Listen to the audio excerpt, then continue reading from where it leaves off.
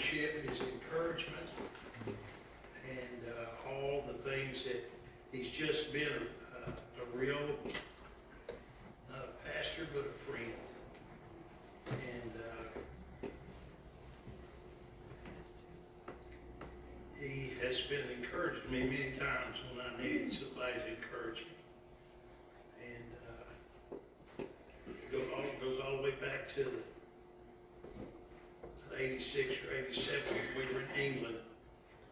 I was, I was extremely discouraged as a missionary and uh, just having a real hard time. A friend of mine sent me a, a cassette tape. Now, most of y'all don't know what that is. the people that are all like me know what a cassette tape is. His brother Brown was preaching a message, and the title of it was There, T H E R E. That was it. He said, Wherever God has placed you there, and you're there, you need to stay there. I'd never met the man before in my entire life, and I heard that message. And uh, from somebody I didn't even know, but it was an encouragement and strength to me, myself especially, but for our whole family, just keep trusting God and doing the work. And He had placed me there, and my, my only thing I need to do was just stay there until He moved me someplace else. And uh, so from about, I say it's probably about 1987, uh, we became friends. And uh, he's, he's just, he's just, a, he's just a very special, special man. So I appreciate you praying for Miss Diane and the family.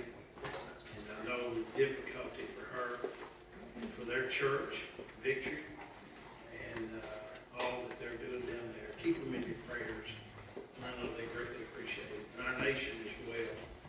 We pray for them. Jean McDonald, I don't know if she was mentioned this morning. She had surgery this Thursday. And uh, just a lot of things going on in people's lives. We just need to be praying for each and every one. Our Father, we come to you this morning with bowed heads, humble hearts, just telling you how much we love you and thank you for salvation that we have in Jesus Christ. Thanking you for the cross. Thanking you for your shed blood. Thanking you for your resurrection and your coming again to take us home. And I thank you, Father, that we can come before your throne of grace and mercy bring our petitions before you as your children. And, uh, Father, asking you to meet the needs of these that we are praying for this morning for Ms. Jean. I pray for her, Lord. I know that she's uh, in quarantine right now. And I ask you just to bless her.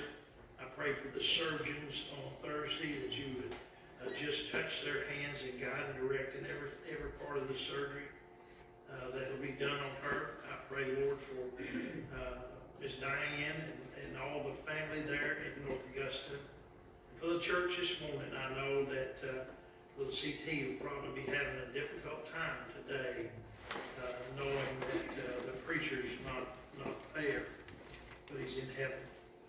So, Lord, I, I just pray your blessings on all that takes place, the funeral on Wednesday. I pray, Lord, you anoint that place with the blessed Holy Spirit of God.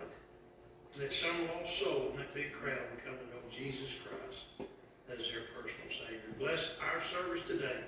Bless our choirs they sing, and, whoever's singing the special this morning. Dear God, anoint them. And uh, Lord, I pray that you would uh, anoint Brother Brian and Miss Robin as they play all the different uh, parts they play in our service. God just bless us and help us to worship and praise you for who you are this morning. And I'll thank you for it. In Jesus' name I pray. Amen. Amen. Amen. Good morning.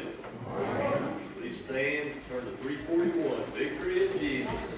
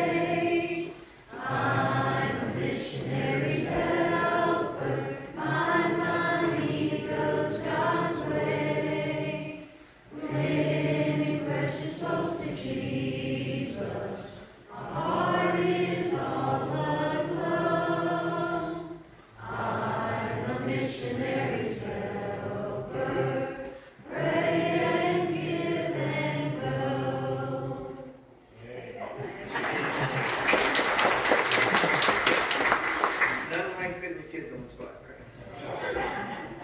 All right, so that money that they, that they, what they do in the, in the beginning before Sunday school, uh, the girls against the boys are basically Brooklyn against Dean over here. They go by and they get, they raise money for the missionaries, and when the jars get full, we take them up there and get them uh, deposited, and this goes to, uh, Pastor Ken up in South Dakota. So the girls raised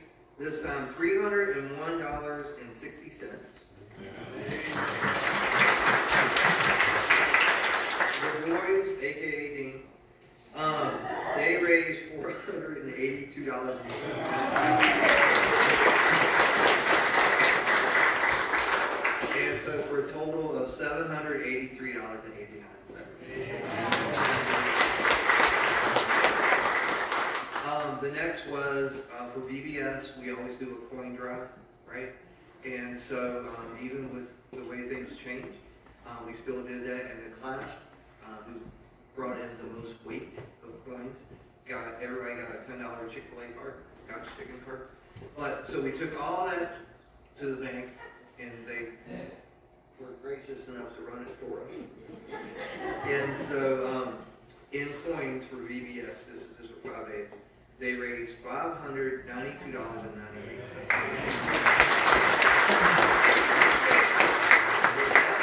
That was awesome. So they did good, and all that money goes to help our missionaries. And so, um, and trust me, with everything going on in the world right now, the world needs missionaries. Need. So last thing, um, Kathy Taylor was always and will always be a wonderful part of this church. And so her family, a while ago, um, collected bottle tops to make a bench, and they did. And so, and I apologize, it took us a while, but we do have that bench now. Currently out here at the playground. And so we're gonna have a plaque made out there, and it'll be out there in the next week or so. But I encourage you to take a couple minutes, come a little early, stay a little late, whichever, and just go have a sit on the bench. And it's a beautiful view, and it's looking at God's creation and the playground that the kids get to enjoy while they're here learning about Jesus. So if you haven't, already, please do that. Thank you.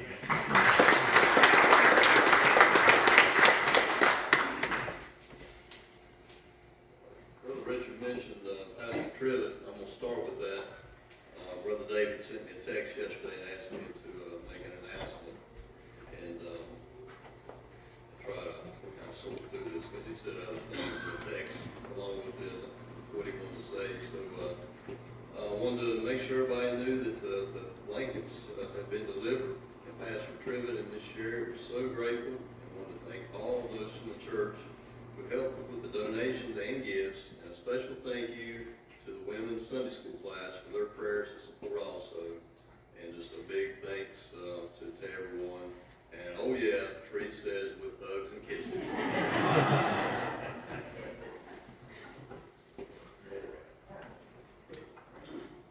Today is the final day uh, that the chests will be out. So uh, if you, uh, Lord leads you uh, to, to support uh, in a special way to the uh, to Mike Sarver and his ministry and that work of building that second floor of that school.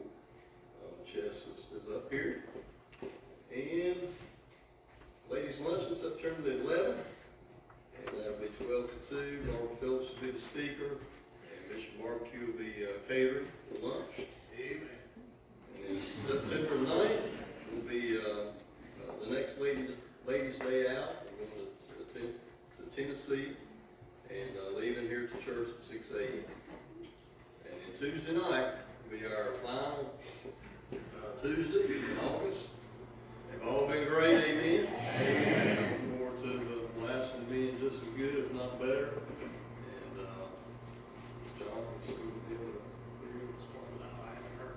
so John needs to be here at seven, we'll be starting at seven P M, he'll be preaching, Daughters of Calvary will be singing for us on Tuesday. Any other announcements? I got one card, God bless you. May you receive abundant blessings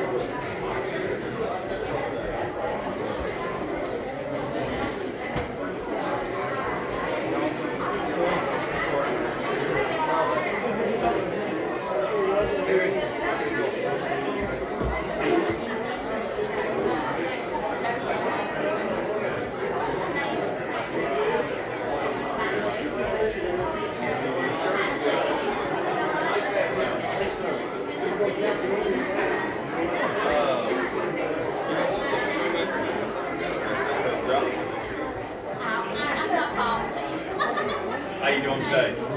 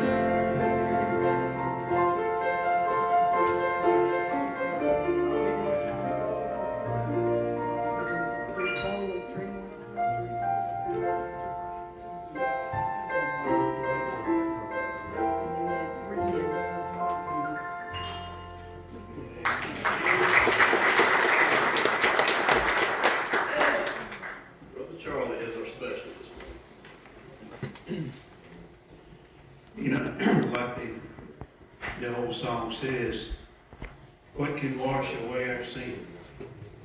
Nothing but the blood of Jesus. Amen. What can make us whole again? Nothing. Nothing but the blood of Jesus. Our Savior's blood is so precious, so pure, and so powerful. It only takes just one drop.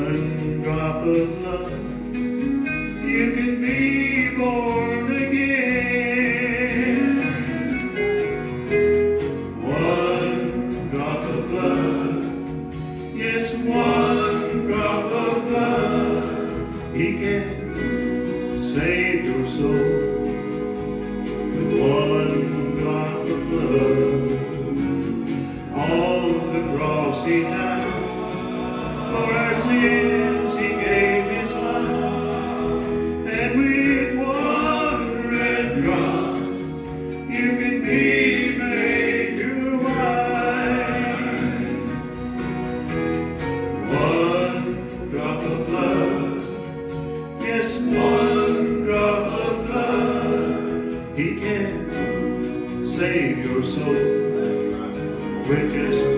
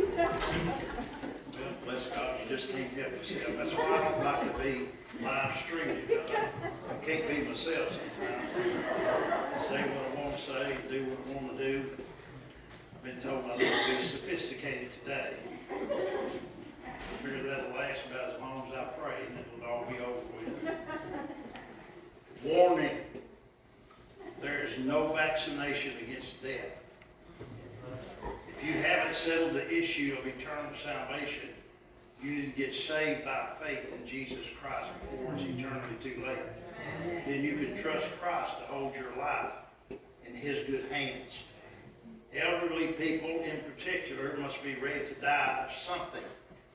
And at the end of the day, something will break through and get you. And no vaccine, Pfizer, Johnson Johnson, or any of the others can save your life. It don't matter how many types of vaccine you get, when God gets ready to take you home, He's just gonna take you home. And, uh, we just need to be trusting Him and, uh, remembering that God's still in control of everything that's going on. Please stand with me if you would, please, as we read God's precious word. They were singing that song. The choir was, and I was thinking about the preacher. That's what I always called him, preacher. And uh, I got to thinking, I said, I bet he's out. While they were singing, I was thinking, I bet he's running all over everywhere. I bet he's done skid into home plate on the streets of gold. You say you believe that preacher? No. I'll tell you where he is. On Saturday morning, when God took him home, he went to the feet of Jesus. Amen. He thanked that good God that saved him from all the wickedness that he was living a wicked, ungodly life. God saved him out of that. And then, of course, you, you all know the rest of his life, but I'm telling you, he's, uh, I know he's rejoicing in the presence of his Savior. Philippians chapter 2, look at verse 14. Do all things without murmurings and disputings, that you may be blameless and harmless, the sons of God without rebuke, in the midst of a crooked, perverse, and perverse nation among whom you shine as lights in the world. There he's talking about Christians shining as lights in the world. He says, holding forth the word of life, that I may rejoice in the day of Christ, that I have not run in vain, neither labored in vain. Our Father, we love you this morning. So thankful for the good songs that we've sung, have sung to us. Thankful, Lord, for that uh, precious drop of blood that saved my wretched soul. And I know many others that are in here this morning. Father, our, our, our most earnest prayer today is that if somebody's walked in this building that's not saved, they'll come and trust Christ as their personal Savior. Let us take the precious Word of God and show them how to know Him in a personal way. Then, Lord, I pray for every Christian in this building. We need to be encouraged. And uh, I pray, God, that the blessed Holy Spirit will do that encouraging in our hearts and lives as we listen to thy precious word and glean on what you have for us this morning. So, Lord God, help me. I ask once again, as I always do, for a fresh infilling of the Holy Spirit's power. That he move across this building and speak to hearts and touch and change lives today as he only, only he can do. I'll thank you and praise you for it. It's in Jesus' name I pray. Amen. And amen. You may be seated. I'm basically going to start out because uh, the sermon, the sermon is, is the other half, the one that I started last week. So I want to give you the same introduction, and that'll help you remember what we looked at before. We, uh, we, how we stand says a lot about our convictions. And I, and I believe that with all my heart. How we stand, and I'm not, I'm not talking about in the church, but outside the church. The reason we have so many Christians that are just kind of wishy-washy today is because they have no convictions about the Bible. They have no convictions in their lives. And uh, they don't have any convictions about doctrines. They don't have convictions about salvation by grace through faith in the Lord Jesus. They don't have any conviction about the blood atonement. I'm going to tell you something. If we didn't have the blood atonement, none of us going to heaven. I tell you that right now. And they don't have any conviction about it. They want to talk about the blood. That's listen. That's just you just don't talk about stuff like that. Well, I do. I'm glad Charlie sang about this morning because that helped me. And uh, I needed just a little bit of encouragement about what I was going to say to you. And the Holy Spirit says, just tell them about the blood, son. They'll all understand what you're talking about. But I'm glad that I believe the doctrine of the atonement for sin through the shed blood of the Lord Jesus Christ. That there's no other way to get to heaven. I know we're hearing all kinds of stuff today, but I'm going to tell you something. God has not changed. He said, I am the Lord, I change not. And God has not changed the way of leaving this place saved by grace and getting to heaven. There's not another new way. There's only one way. Jesus said, John 14, 6, I am the way, the truth, the life. No man cometh unto the Father but by me. So I'm glad that I met him a long time ago. I'm glad that I have settled my salvation in 1970 by the grace of God, washed in the blood of the Lamb, and on my way to heaven. And brother, I've been on my way for a long time. I've enjoyed the trip. Not all of it, but most of it. But I'll tell you something. We, we uh, God, I believe, is calling for us and asking us to take a stand, and a strong stand, to live holy lives. Go with me to the book of First Peter for just a moment.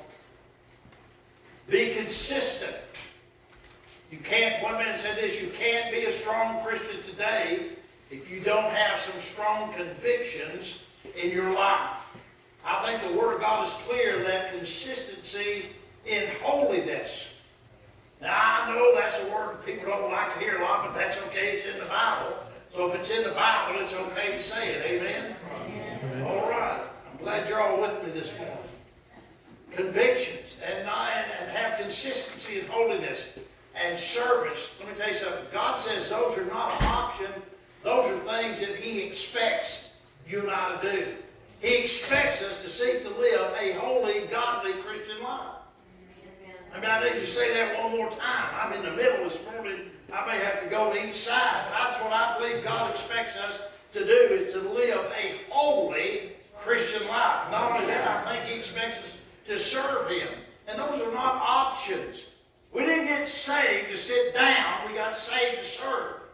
And I believe that's what God wants from us. Look at 1 Peter 13, chapter 1, verse 13. Wherefore, gird up the loins of your mind, and, and mind, be sober, and hope to the end for the grace that is to be brought unto you at the revelation of Jesus Christ as obedient children, not fashioning yourselves according to the former lust in your ignorance, ignorance, but as he which hath called you is holy, so be ye holy in all manner of conversation, because it is written, Be ye holy, for I am holy. And God is a holy God. He expects His children to be holy people and holy children of God. I know we're not perfect, and I understand that, but I'm going to tell you something. Just because we're not perfect doesn't mean that we don't have to try to seek to be holy. What was it the Apostle Paul said? I press toward the mark of the prize of the high calling of God in Christ Jesus. And that, to me, is not only what he's pressing to do for God, but pressing us to be a holy child of his. And I think it's so important. Verse 14, I want you to notice with me, go back to the Philippians real quick. And look at verse number 14. Do all things without murmurings and disputings. That talks about submission. That talks about complying. And that's talking about what you and I are supposed to do as children of God. We are to be submissive to Him. We're to act like a, we're have a Christ-like manner. That's how we ought to act. I, I meet Christians all the time, and it surprises me when they tell me they've been saved by the grace of God and they're a child of the King because of the manner in which they live and the way they talk, all these other different things in their lives are not Christ-like things. I, I believe with all my heart, you and I need to be as Christ-like as we possibly can. And the closer we get to God, the more holy we'll be for our Savior. Jesus is a personification of all these words. When he left the throne of God and, and stooped to be to the form of a servant, can I tell you something? He did not complain. How many of y'all ever had somebody ask you to do something, and the first thing you do,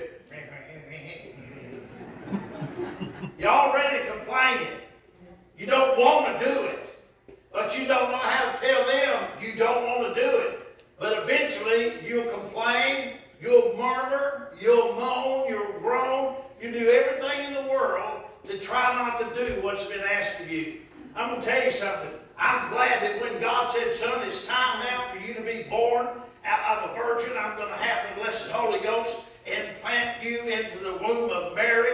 I, and it's going to take place on this day. The Bible says in Galatians chapter 4, verse 4, and when the fullness of time was come, God sent forth his son to be made a woman. Hey, listen, God has a perfect timetable. He's got a, he's got a perfect book, and God looked down in his book and he said, Son, it's time. We're in that time now where you need to go. It's time for you to be born. It's time for you to be reared in obscurity. It's time for you to make yourself known at the age of 30. It's time for you to go and do all these different things, and then it's time for you to die. All of this is going to take place. I just want you to know where you're headed. He was in the Garden of Gethsemane. What did he say? He's praying. The Bible says his over sweat drops of blood, blood, blood. And he said, Father, if, it, if thou be willing, he's asking for God's will. If it's your will, remove this cup that I'm looking into right now of all the wickedness that has ever been wicked, all the sins that have ever been sinned, everything the devil has done. I'm looking into this that he has put on your children. I'm looking into this and he has put on the whole world, and I'm going to die for their sin. If you be willing, let this cup pass from me. But I'm glad it says, but nevertheless, I like that little word, bud. But nevertheless, thy will be done. And he went to Calvary. He, he didn't tell him, Lord, I, Father, listen, I've sweated blood and everything else here. Don't, isn't that enough? Yeah, I, I mean, I've wore, I've wore myself out hanging on this rock right here, sweating and talking to you.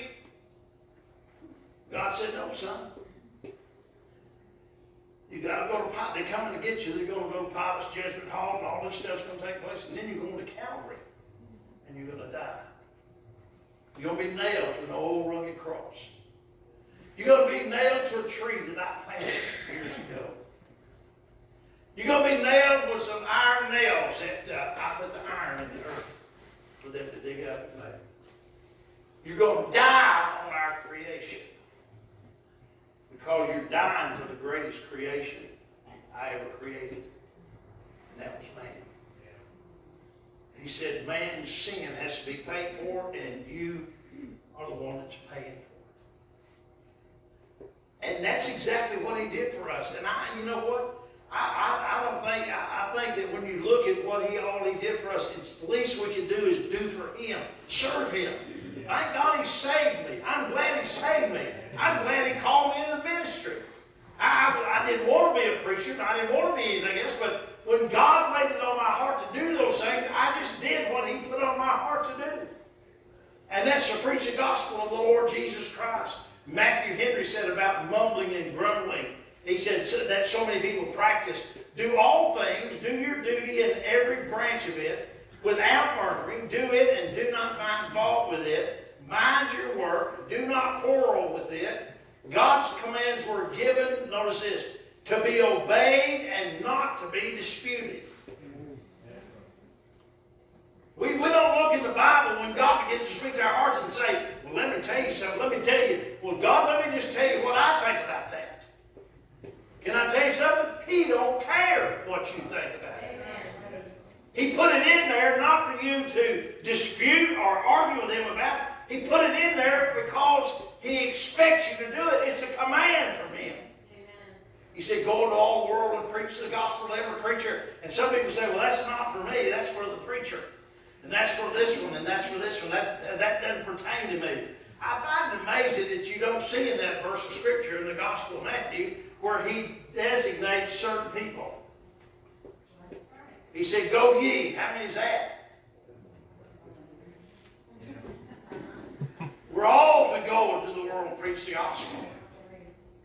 The problem many Christians have is not obeying God's commands or disputing them or arguing with the Lord. That's the problem most of them have. Let me go with me to the book of 1 Corinthians real quick. 1 Corinthians chapter number 10. I want to show you something. I, I want to take an illustration from the Bible and show you what happens when people murmur and dispute and complain. I'm talking about God's children. Now, I don't know whether you're murmuring, disputing, complaining. I have no idea. I just want to tell you what happens when you murmur and dispute and complain to God.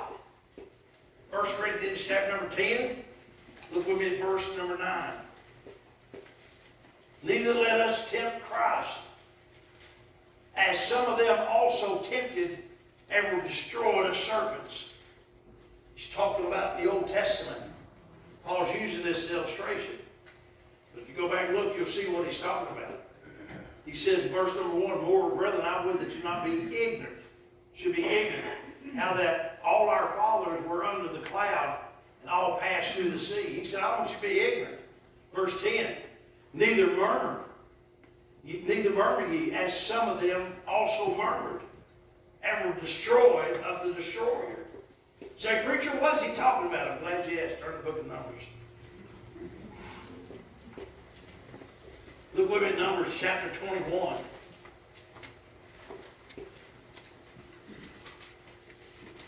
Look at verse number 5. And you know, they've been on a journey for a long time. They're a little bit upset about, you know, they can't, they, they just, the Israelites are mad. And the people, verse number 5, chapter 21 of the book of Numbers, and the people spake against God and against Moses. Notice that. They spake against God first, and then against Moses. Wherefore have you brought us up out of Egypt to die in this wilderness? For there is no bread, neither is there any water, and our soul loatheth this light bread. They don't like, they're saying, we don't like this manna that we're eating right now. So we're tired of it. We've been eating on it day after day after day, and we're tired of it. Notice what verse 6 said. This is how quick God reacts. And the Lord sent fiery serpents among the people, and they did bite the people, and much people of Israel died. You know, it'd be better off if they just jumped Moses. But they jumped God first. That is a bad mistake. Don't ever take your murmurings and your complainings and all the other things and start blaming God for it. There are a lot of people that shake their fists in the face of God. I wouldn't even dare think about doing something that idiotic. God's not in, the, in, the, in that kind of. Look, go with me. Let's turn back over to uh, chapter number 16 of the book of Numbers. I want to give you these things. I, I don't know if we'll finish here this morning or not, but I, I want to give you these because I want you to understand what the Apostle Paul is trying to teach the Philippian church. This was a church that was his crown of rejoicing. This is the church that was his joy. And he talked about joy all the time. Let me tell you something. You can have a great, wonderful, joyous church and still have murmuring and complaining and disputing it. And so, if you know the two women that were having a problem in chapter number four when he corrects both of them. Let me tell you something. God, it doesn't matter. Listen, the devil's going to conjure up anything and everything he can try to destroy our testimony and our work here in this church, but not just in the church, but in our individual lives. He doesn't want us doing things for God. He doesn't want us reaching out and telling people about the Lord Jesus. Look with me in Numbers chapter 16, and look with me in verse number 1. Now Korah, the son of Izhar, the son of Kohath, the son of Levi, and Dathan, and Abiram, the son of Eliab, and, and On, the son of Peleth, sons of Reuben, took men.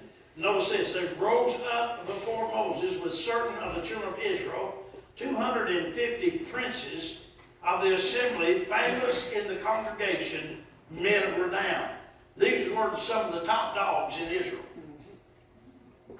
Probably, I don't even try to figure out what they were. And they gathered themselves together against Moses and against Aaron, and said unto them, Ye take too much upon you, seeing all the congregation are holy. Now, these guys have made a statement that's a lie. They said all the congregation is holy. Let me tell you something. Not all that congregation was holy. You say, hey, know that, preacher, because these, these right here are stepping up and being unholy with what they're asking. You said uh, all the congregation is holy, every one of them, and the Lord is among them. Wherefore then lift ye up yourselves above the congregation of the Lord. So now they're saying Moses lifted himself up like he is, he, he is uh, their uh, answer to everything. And Moses hadn't done that. And notice how Moses' reaction. And when Moses heard it, he fell upon his face. Why did he do that? And he spake unto Korah and unto all his company, saying, Even tomorrow the Lord will show who are his, and who is holy, will cause him to come near unto him. Even him who hath who he hath chosen will he cause to come near unto him. So here's a test that's fixing to take place. And, and so if you look with me, I'll give you just a couple of other things. Uh, it talks about uh, Korah, Dathan, and Abiram, and all these people that had gathered against Moses. They were really trying to assert the authority of God's man at that time with what they were trying to do. And it says in verse number uh, verse number 30, all these things have happened. Then, then it says, Moses says, But if the Lord make a new thing, and the earth open her mouth and swallow them up, with all with all that appertain unto them, and they go down quick into the pit, then shall ye understand, then shall, then you shall understand that there is, these men have provoked the Lord. What they were doing, they had, they brought these 250 princes in, what they did, they went in and offered incense unto the Lord. They had no business being in there. That was the only place for the Levites and the priests. And these guys decided they were going to go in and, do it themselves. Came to pass as he had made an end of speaking all these words, in the, that the ground clave asunder that was under them. And the old earth opened her mouth, swallowed them up and their houses, and all the men that appertained to Korah, and all their goods. And they and all that appertained to them went down alive into the pit. And the earth closed upon them, and they perished from among the congregation. I, I, want you to notice this. And all Israel that were round about them fled at the cry of them, for they said, Let's, Lest the earth swallow us up also. I want you to notice verse 35. The Lord didn't forget about them 250. They didn't go down in the crack of the earth. And there came out a fire from the Lord and consumed the 250 men that offered incense. They went into a place of holiness, and they were not holy. They went into a place where they had no business going into, and God punished them for going in there. 250 of them he killed right there. That's basically what, what he did. And then, of course, verse 40 says, This is to be a memorial unto the children of Israel, that no stranger, which is not of the seed of Aaron, come near to offer incense before the Lord, that he be not as Korah, and as his company, as the Lord said unto him by the hand of Moses. Now, he's already told him, he said, Listen, you don't let any strangers come in here and begin to offer incense, because they're going to be just like Korah and all his buddies. They'll either go down in the earth or I'll zap them with a streak of lightning or fire. God says you don't do those things. And I'm going to tell you something. The only thing Korah was doing was murmuring. He was mad because he wanted to be a part of what was going on, and he was trying to get Moses to start to, you know, allocate different things so they could help him out. They weren't called to help him out. They asked, they called themselves to go and do what they were wanting to do. God didn't have a hand in it at all till the earth opened up. Let me tell you something. I, the, one of the one of the saddest things is that all that mumbling and everything get up, got them in all kinds of trouble. I'm going to tell you something. Murmuring and complaining will not bring God's blessing. But it will, however, bring his judgment, as it did on them. Disputing is an open discussion or debate. Little whispering will always lead to bigger problems. Deadly explosions of debate often start with a smaller secret whisperings. Murmurings start as a secret in your heart. It soon becomes public as it is manifest in the disputing and debates. Listen, let me tell you something. Things will manifest in your heart, and it'll finally get to the place where it goes and goes and goes, and finally it'll come out. This thing will open up. You can't hold all that inside of you without letting it go. That's why I tell you that the best thing for us to do is learn to praise and worship God, no matter where we're at, and uh, just be happy. I, I'm, I'm happy because I know one day I'm going to heaven. So they don't need to be sad, mad, glad, nothing else. I'm just happy. I sing that little song, Happy am I, Jesus is mine forever. Second part says, never to leave. Never to leave. He's mine forever. I, you know what? I, I ask people, when I talk to people, I, I ask them that kind of questions like that all the time. And yet many of them have no answer for them. Well, I'm hoping I'm getting there. I'm not hoping. My hope's already been taken care of. I hope the songwriter wrote, my hope's built on nothing less than Jesus' blood and righteousness. I dare not trust the Swedish frame, but wholly lean on Jesus' name. On Christ, the solid rock I stand. All other ground sinking sand. Amen. My house is built upon the rock. I was building on the sand until I got saved by grace, and He took me out of the sand and put my feet upon the rock. And then He established, as the psalmist said, my goals. I'm glad God's, I, I, I'm say He's in charge, but I sometimes like to take charge myself.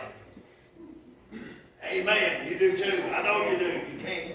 If we're to follow and serve the Lord in humility and sacrifice, there'll be no place for murmuring and no place for disputing in our lives. When God Almighty, through the blessed Holy Ghost, begins to deal with your heart about doing something, you have no reason, you have no reason whatsoever to reject or argue with God about what He's calling you to do. I'm going to tell you right now because when you do that, that's exactly what He will have you do eventually somewhere down the road. You say, How do you know that, preacher? I am a prime example. When God called me to preach and my wife will verify this. I surrendered to preach the gospel. I, I, the night that I went forward to church and surrendered and told the Lord, I said, Lord, I'll go anywhere you want me to. That was a lie. I'll do anything you want me to. That was a lie. I'll preach the gospel anywhere you want me to preach it. That was a lie. And then I said, but I will not be a missionary. Open mouth, insert both feet. He said, no, you won't be one now, but you eventually will. It won't be long. And at a missions conference in my church where I was pastoring, the Holy Spirit spoke in my heart. In fact, the man that was preaching, he's already in heaven. That was his heart. He told me, he said, John, there's somebody in this church God's dealing with. I said, yeah, I know it is. Uh, well, you know? I said, I hope they make things right with God tonight. He said, I do too.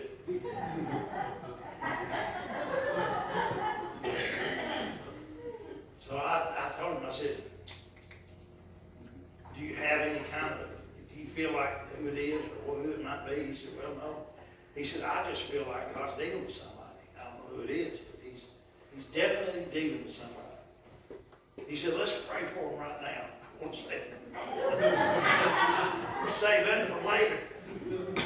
Old Dr. Norwood begins praying, and he said, Lord, I don't know who that is that needs to surrender and submit to your will. They'll come tonight.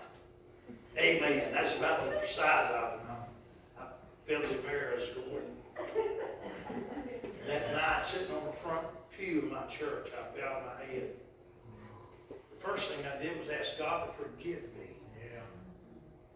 for not being a hundred percent submitted to Him. Mm-hmm. There at that moment, I told the Lord, I said, God, whatever you want to do to me, I'll go where you want me to go. I'll go to the mission field, I, I, whatever you want me to do, I'll do it. Right there that night, sitting in my own church, I surrendered my life to the Lord Jesus Christ to do what He wanted to do, not what I wanted to do. Of course, we went to England. And so let me tell you something, don't murmur against God if he's calling you to do something. Just remember what the preacher said. He'll get the job done. He'll, he'll get you motivated to go where he wants you to go and do what he wants you to do. That's just the way God is. You know why he does that? Because he loves us. He loves us immensely. All he's done for us, can't we just serve him without murmuring and disputing? Paul further commands us, verse number 15, herein lies the great responsibility of having a shining testimony. And I talk about that all the time. I, I believe with all my heart, wherever we go, we ought to shine as the gospel of the Lord Jesus Christ.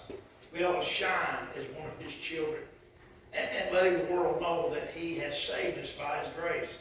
I, I, I'll tell you something.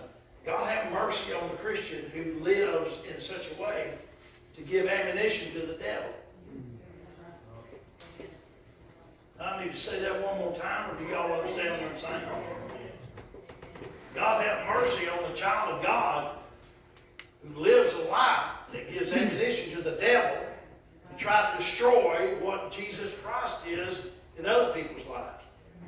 We ought not, listen, we ought not load his cannons up. We ought to blow his cannons up. We ought not allow him to have a foothold in our lives. We're, we're saved by grace. We're going to heaven. There's no doubt in my mind about that. But let me tell you something.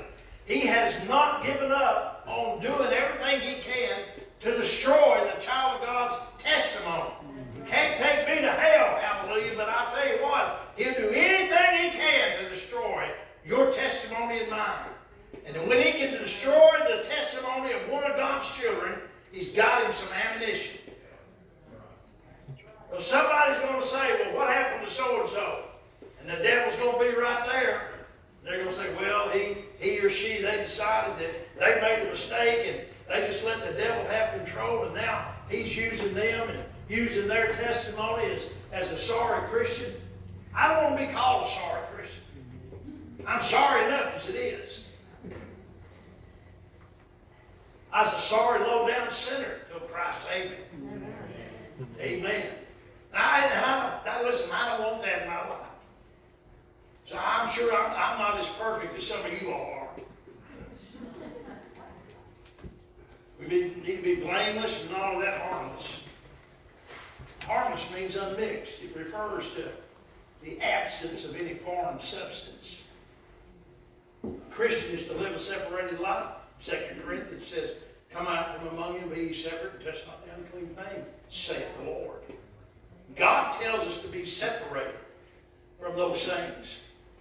When our testimony for Christ becomes mixed and tainted with the pollution of the world, our light dims.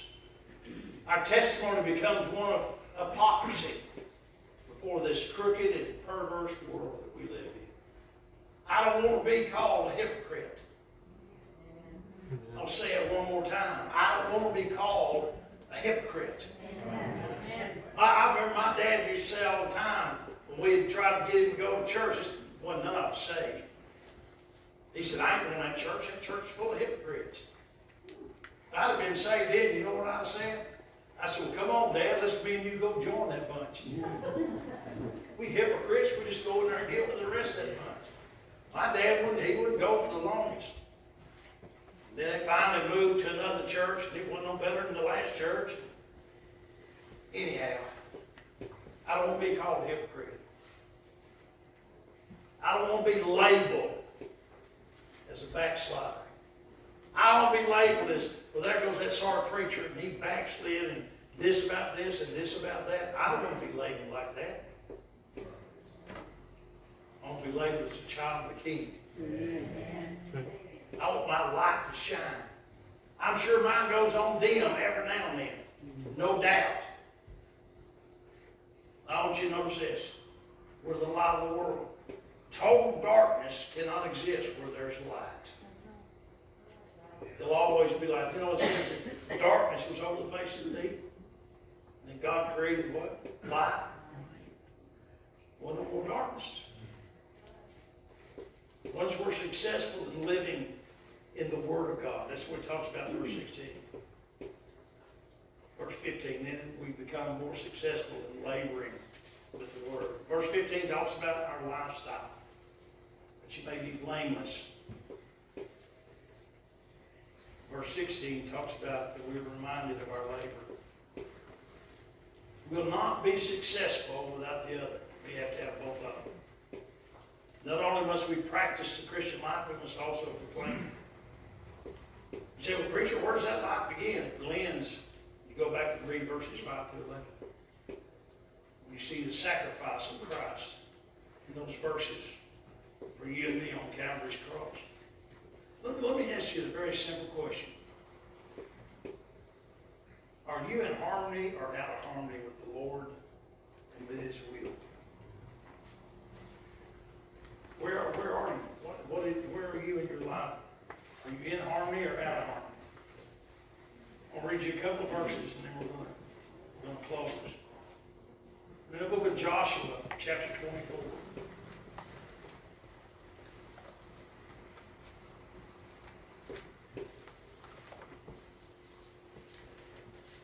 God's recounting these things to Joshua.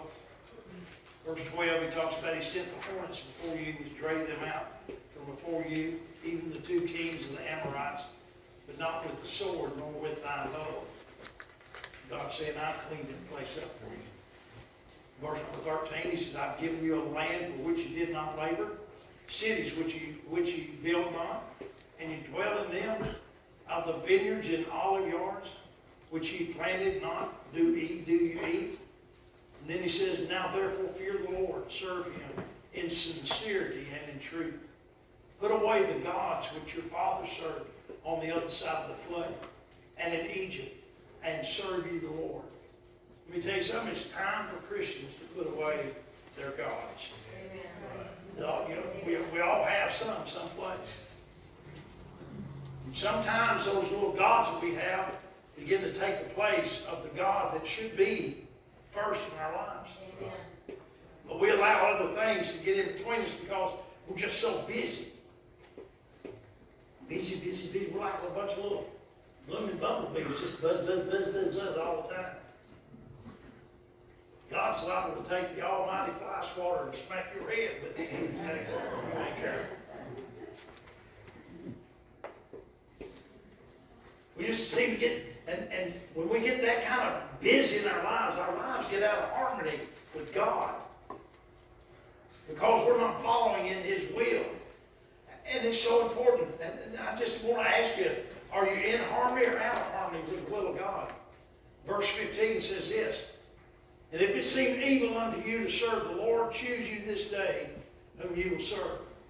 Whether the gods which your fathers served that were on the other side of the flood, or the gods of the Amorites in whose land you dwell. But as for me and my house, we will serve the Lord. Joshua said, I'm not serving that bunch that the Amorites worship. I'm not serving that bunch that our fathers worshiped on the other side. I'm not serving any of that kind of stuff. Me and my hmm. house are going to serve God. God saved us. Let me tell you something. I, since that happened, I, since God saved me and, and Gwen, which God saved before I did, and our kids got saved, and God called us in the ministry, I've tried to do everything that I can to have our house serve the Lord. It's not always been perfect. But I tell you something, bless God, I, I tried, we tried, did the best we could to get our kids to learn to serve the Lord. And it's important. As for me and my house, I will, and listen, just because my children have gotten married, glory to God, hallelujah, praise Jesus. I still, with my wife, seek to serve the Lord as best we can. That didn't stop when I got everything out of my house. And, uh, Gwen and I became, like some of you all have, empty nesters. No more little birds anywhere around. Everything was good. My wife's the one cries about it all the time. She cries, I shout. Look what he says in verse number 16. God forbid. And the people answered and said, they're answering Joshua now. God forbid that we should forsake the Lord to serve other gods. And then he goes on and recounts the fact that he's the one that they begin to say, He is the Lord that brought us up out of the land of Egypt. He's the Lord that instituted the Passover. He's the one that told us all these things. He's the one that's led us through all of this. And now we've come out of the wilderness and Joshua's leading us and he's led us all these days. And God's been in charge of everything. We just need to realize, as for me and my house, we're going to serve the Lord. And like the rest of them said, we're going to do the same thing. We're going to serve God. We want to serve Him because, listen, if you ever want to see God's punishment, read the Old Testament and look at Israel. As many times they got whipped, I don't understand why they kept getting whipped. I think they just enjoyed it or something. Every time God blessed it, He gave them manna. You heard me talking about the, the, the light bread. We loathe this stuff. We hate this stuff. Then God gave them quail. I never ate no quail, but they say it's pretty good. Some of the guys said amen. They wanted meat, so God gave them quail. And they said, well, we're thirsty, so God gave them water out of a rock. All the water they could drink. And they still murmured and complained. I think about the blessings of God on them. How in the world can you complain? Ladies, let me just give this to you. How, how in the world can you complain by having one pair of shoes that never wears out for 40 years? Hello? I, I figured every man in the church would have shouted glory to God because you know you'd have had some extra to spend.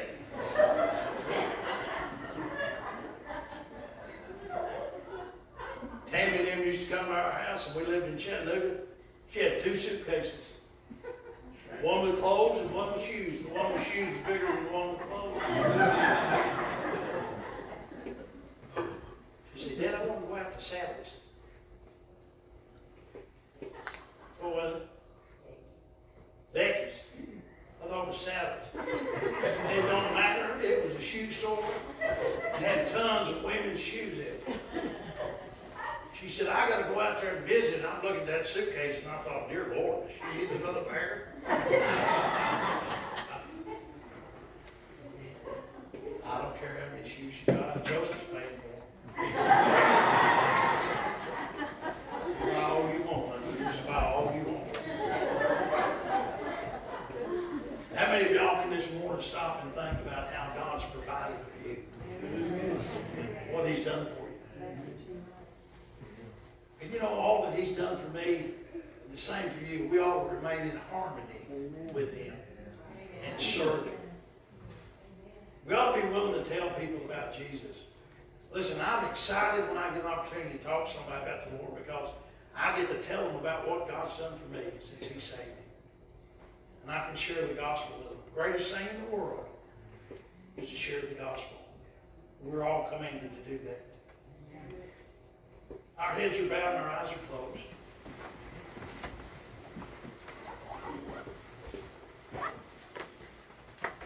I don't know how the Lord may have spoke to your heart this morning.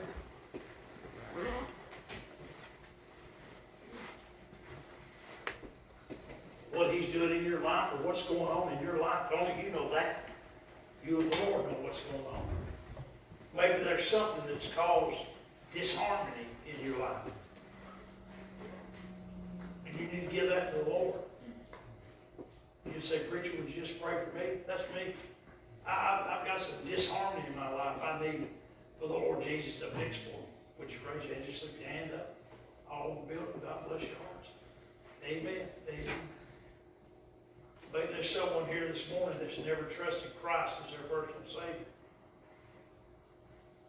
You say, Preacher, if I was to die right now, I'd die and go to hell. Not a doubt in my mind. Because I've never repented of my sin and asked Christ to be the Savior of my soul. You say, Preacher, would you just pray for me? No one's looking but me and the Lord. Just slip your hand up so I can see it. So I'll know how to pray for you. Anyone at all? God bless you. Yes, sir. Somebody else. The greatest decision you'll ever make in your life is to trust Christ.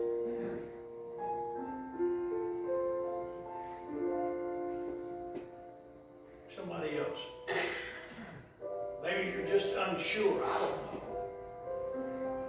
But you say, preacher, we just pray for them. Just pray